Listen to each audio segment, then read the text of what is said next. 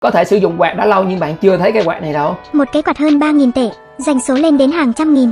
Tại sao quạt không cánh lại có thể bán đắt như vậy? khi mình xem xong cái video về cây quạt không cánh này bạn điều mình suy nghĩ đầu tiên đó là mọi thứ đều có thể thay đổi. Và cái con covid hiện tại nó cũng đang làm thay đổi mọi thứ trong xã hội và có thể nó cũng đang làm thay đổi tất cả cái cách thức làm việc trong cái ngành nghề của các bạn. Cho nên những cái mà chúng ta đã từng nghĩ rằng nó ổn định nó cố định có thể nó không phải là mãi mãi. Và mọi thứ hoàn toàn đang thay đổi chúng ta sẽ không biết được là khi nào cái con covid này sẽ kết thúc hoàn toàn. Chúng ta cũng không thể nào chờ đợi dịch covid này trôi qua để mọi thứ nó quay trở lại như cũ. Cho nên có thể mình phải chấp nhận cái sự thật này và thay đổi cách làm việc của mình. Nếu như công việc của bạn có một cái phần mềm nào có thể làm được thì hãy học cái phần mềm đó. Nếu như công việc của bạn mà chưa có lên online thì hãy đem nó lên online. Và nếu như các bạn chỉ mới có một nguồn thu nhập thì có thể là tạo thêm một nguồn thu nhập thứ hai, tặng cho các bạn một câu nói hát não này.